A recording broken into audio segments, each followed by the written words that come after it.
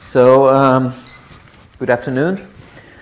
Uh, much of Mats, much of our work, Mats and mine, has centered around this uh, uh, PAM instrument, pulse amplitude modulated fluorometry, and we were reminiscing about what we've done during the last 22 years.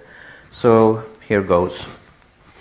Uh, the first thing we did, we bought one of the first, I think we bought uh, serial number two of uh, this instrument. And the first things we did was to study corals actually. And uh, you can see a coral head here, which, has, uh, which receives different light intensities from up the side and downwards. And we tried to make these rapid light curves.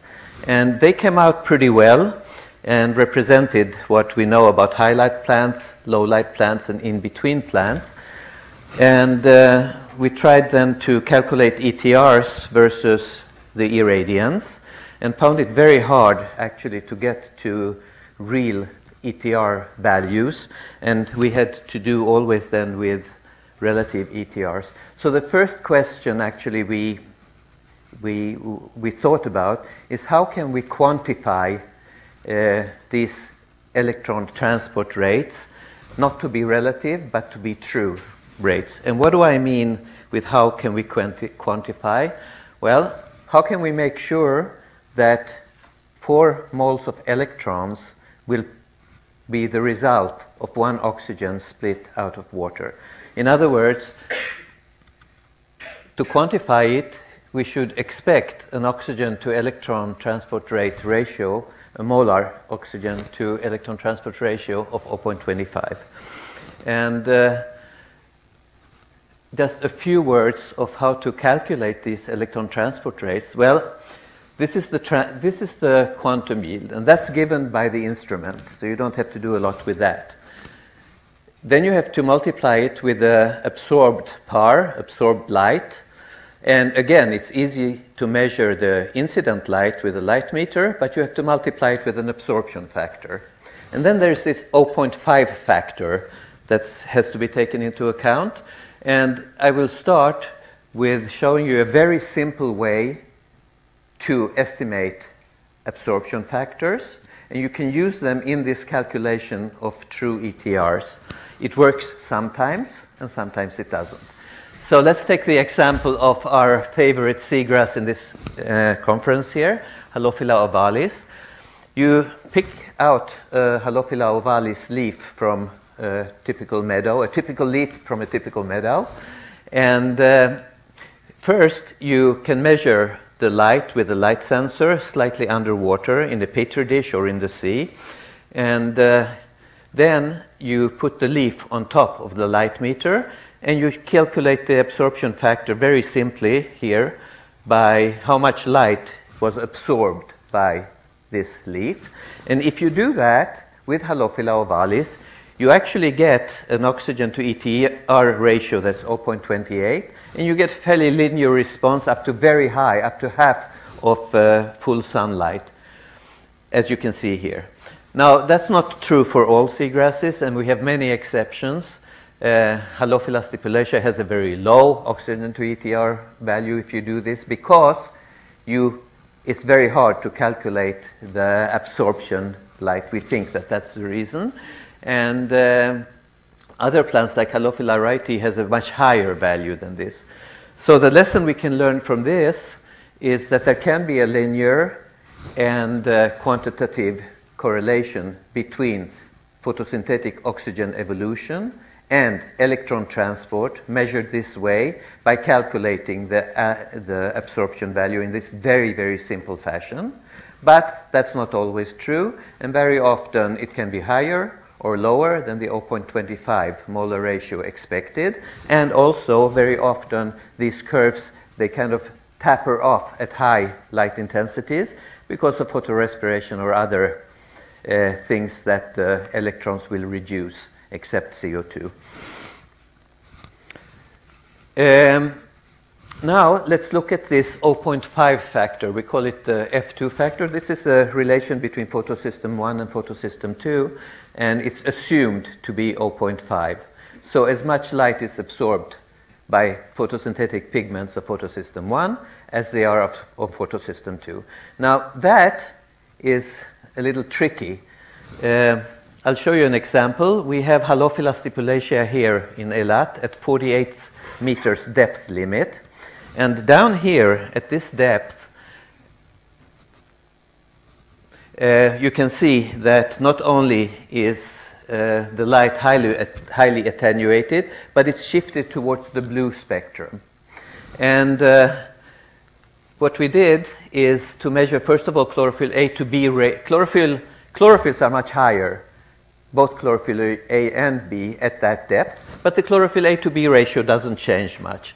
What does change is the relation between photosystem 2 and photosystem 1. And uh, I won't go into, into detail here, but this graph here tells us that photosystem 1 is three times higher at that depth than photosystem uh, 2. And that means that this 0.5 factor will not be correct. There isn't an equal distribution of light absorption between photosystem 2 and photosystem 1, but rather um, there's a big difference. So at one meter's depth, this factor is 0.62, and at 48 meters steps it's 0.31. Now, if we would have done a rapid light curve using the 0.5 factor, then the difference between 1 and 48 meters would look like this. But if we do a rapid light curve with ETR versus uh, irradiance, taking these other 0.5 in quotes factors into account, which we call now F2 factors, then you can see that the curves or the differences between the high light and low light plant are quite different. So the lesson we learned from this is yes, 0.5 is okay to put in this electron transport formula, but it can be higher in shallow plants, shallow growing plants, and it can be lower in deep growing plants. It's quite complicated to get to the true uh, ratio between photosystem 2 and photosystem 1, but this is something you should think about. And if you think that there's a big difference here, you'd better go with relative ETRs than true ETRs.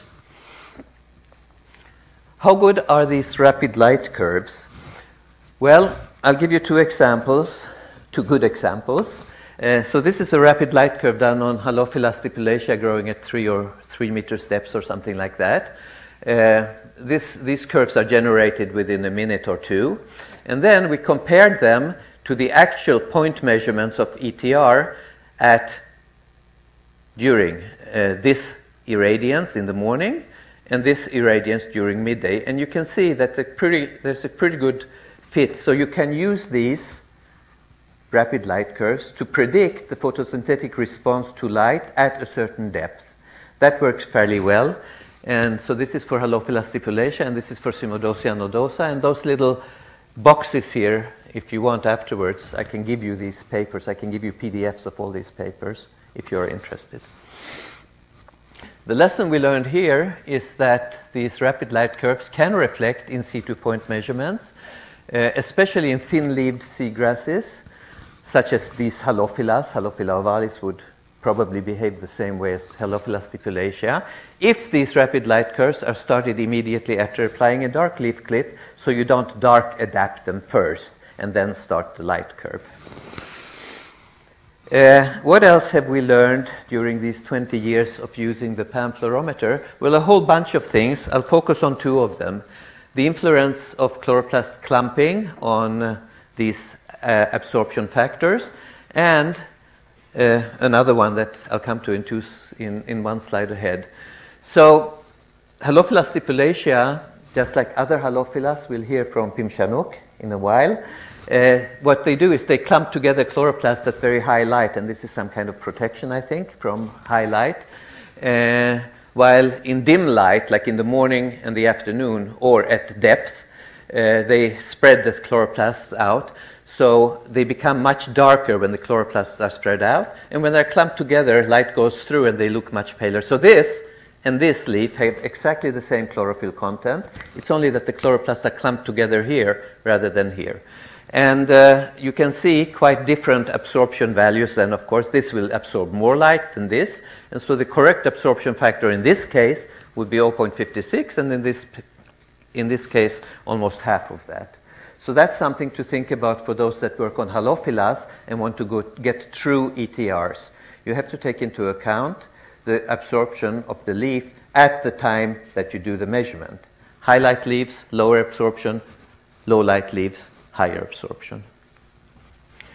Another thing that I think is quite remarkable, we used to work with oxygen electrodes, meaning that you had to excise the leaves, take them to the lab, put them in an oxygen electrode chamber, and we came to the conclusion by these experiments that seagrasses were carbon limited in today's carbon environment.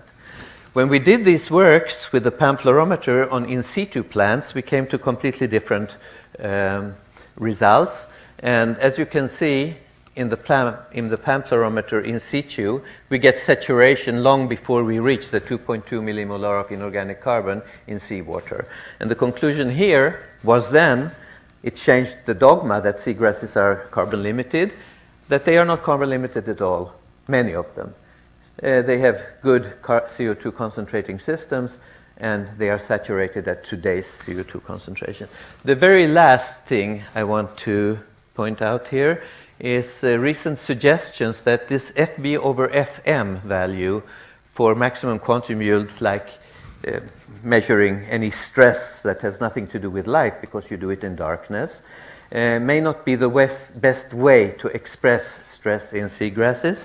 And this is work that came out of Mats' lab, where you can see that the difference uh, in FV over FM here in a young versus an old leaf is very small. But if you instead measure FV over F0, you get a much more sensitive way to measure uh, stress. We can discuss this in the workshop. Um, my conclusion here is that FV over F0 may be a better or more sensitive proxy for plant health than FV over FM. Uh, so you can learn more about this either by uh, we're describing PAM fluorometry as a method as compared to gas exchange me methods in this book. And we are also uh, going to discuss this in workshop number nine that Mats and I will uh, lead because Ron, John Runcie couldn't come. He was supposed to do uh, this workshop. And so if you want to learn more, if you want to know more, if you want some input, if you want to discuss these things, it's a, it'll be, the first day will be a discussion work group. The next day you'll do actual measurements. Uh, then please come to this uh, workshop. Sign up for it if, if you want to. And if not, we have this book that came out a couple of years ago. And with this, I say thank you for listening.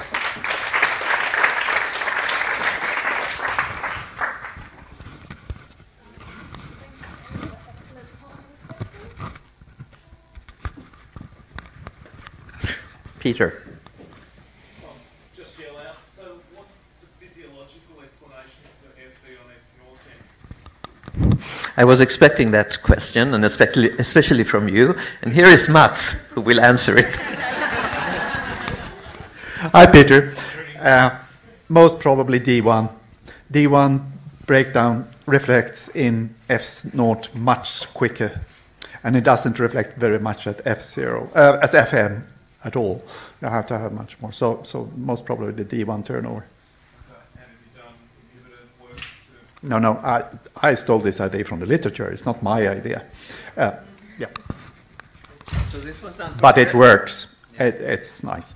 I had another slide, but I took it out. It, it was firstly described on terrestrial plants, but uh, Mats have found this as, as a good measure. Yeah.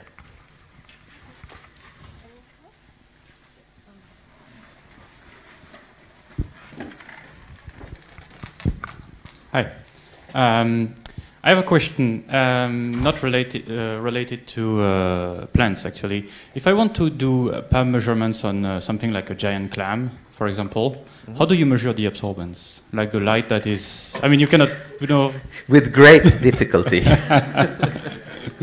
we actually have devised a way to try to measure it in corals, and it has to do with absorbed versus reflected light back from the skeleton under the coral. But it's not very good. We're not there yet. No. Maybe Peter knows, I don't know. Uh, it, it doesn't work because the light's absorbed into the mantle, and so no matter what intensity of light you put into the plan, you're never going to get a, measure. And it also closes and it distributes the sensibility everywhere. So I wouldn't hassle. Leave it alone. Or use relative ETR. Yeah. Hmm. Okay, thank you.